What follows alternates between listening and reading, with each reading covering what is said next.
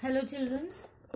Now today we will start with the next topic of this chapter that is energy. This one is the last topic. Okay. See here we had learned already learned about the force work and now we will learn about the energy. Okay. So energy. What is energy actually? Energy is the ability to do work to do any sort of work we need energy okay because whenever we talk whenever we walk we write we see for every sort of work we want energy we require energy. So that is uh, so energy is actually the ability to do work. Whenever we do any sort of work there should be some ability in ourselves by which we can do the work. So that ability is actually known as energy. Okay?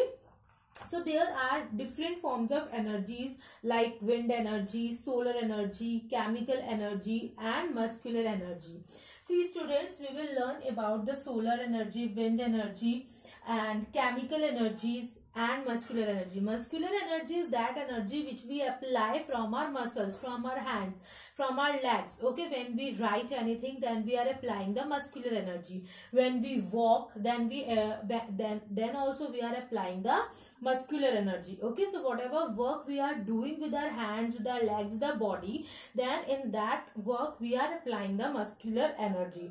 And there is also one term that is chemical energy. That energy is actually present in the chemicals and that chemicals are like the, the common example of the chemical energy is um, uh, I can say electric cell, the cells which are you which we use in the torches or in our uh, wrist watches or in our or on our wall watches. Okay, in the watches we usually use the uh, cell. So in that cell chemicals are present and that chemicals convert uh, the chemical energy into the electrical energy by which we can easily run a particular appliance. Okay? Now the another two types of energy that is the solar and the wind energy that we will learn under sources of energy. Okay? So they uh, we obtain we get the energy from the different different sources. Okay? So first of the first source is sun. So this energy which we obtain from the sun okay sun is uh, actually the most important source of energy and that energy which we obtain from the sun is known as solar energy. Which energy we obtain from the sun? That is solar energy. Okay solar energy we obtain from the sun. Now uh, uh, means this solar energy is actually trapped or carried by the plants okay for the preparation of food. You know that plants need sunlight for the preparation of food during the process of photosynthesis. So, the plants actually trap the solar energy during that process and that energy they get from the sun. Okay. And the food that has energy is stored in the form of chemical energy. I already told you that where chemical energy is present in the electrical cells. Now, the another example where you will get the chemical energy is the food okay the food which the plants stored in themselves during the process of photosynthesis the food gets stored in the form of chemical energy okay. So basically what happened the solar energy converts into the chemical energy okay.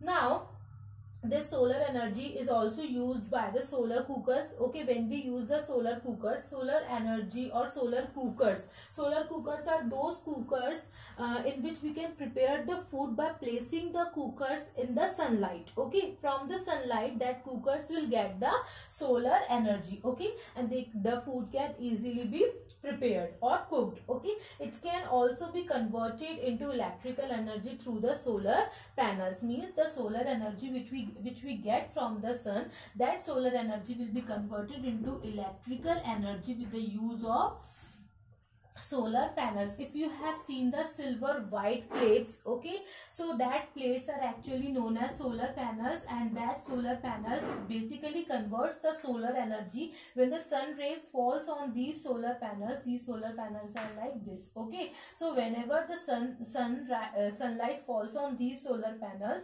then so what is present in the uh, sun sunlight that is the solar energy. So this solar energy after uh, like incident or when it falls on the solar panels, these solar panels convert the solar energy into the electrical energy and these electrical energies are used to run the electrical appliances or bulbs or fans in the villages mainly in the villages and nowadays these solar panels are actually in use in huge amount in the cities also okay? By this we can use the solar energy.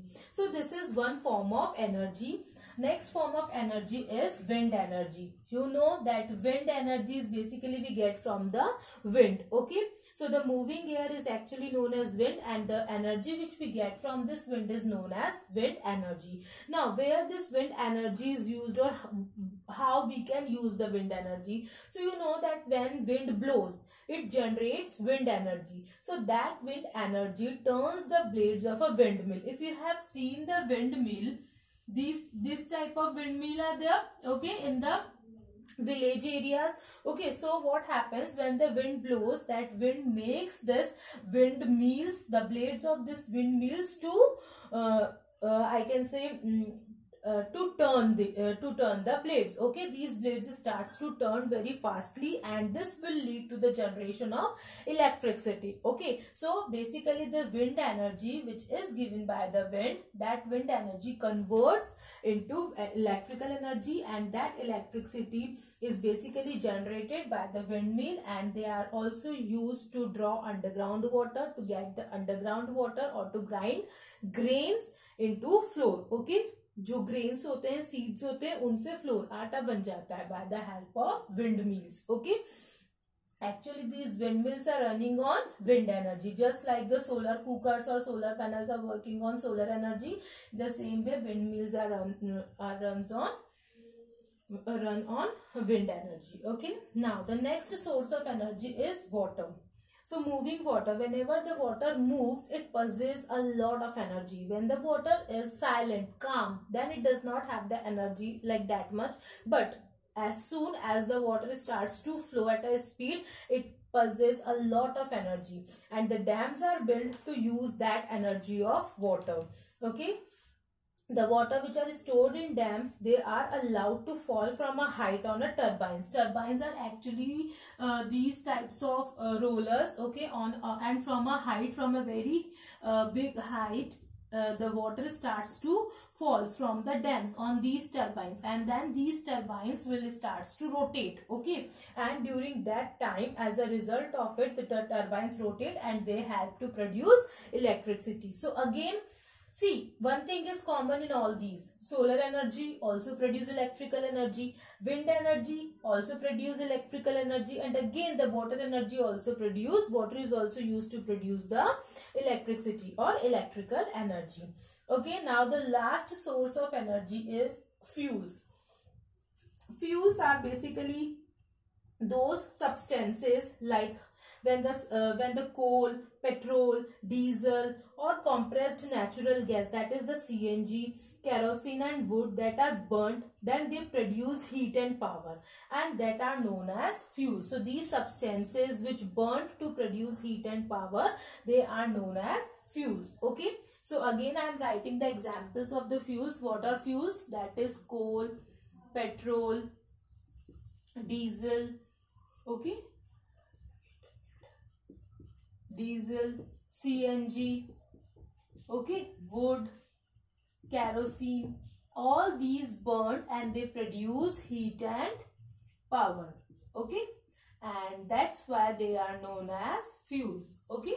Now all the vehicles you know they, they run on these fuels. They need fuels to move, okay. And fuels are also used for cooking in the villages wood are used to cook in our day-to-day life we need LPG that is liquefied petroleum gas that is also a fuel which is used to produce uh, which is used to cook the food energy uh, now students buy all these sources of energy and they're working one thing is common in that that one form of energy can be converted into the another form of energy आपने देखा इधर ठीक है तो in electric bulbs what happens? Electrical energy in electric bulbs electric bulbs runs on electricity. So that electrical energy converts into the heat energy and light energy. In electric iron electric energy converts into the heat energy. In the speakers electrical energy converts into the sound energy. In the doorbells again electrical energy converts into the sound energy. In heaters, electric energy converts into the heat energy. So there, uh, if there is a form of energy, so that form of energy can easily be converted into the another form of energy. So we can say that the energy, the forms of energies are interconvertible. वो एक दूसरे में change हो जाते हैं. The one form of energy can easily be converted into the another form of energy. So students, by this we had completed our chapter 10 so please have a look of this chapter revise the chapter and keep learning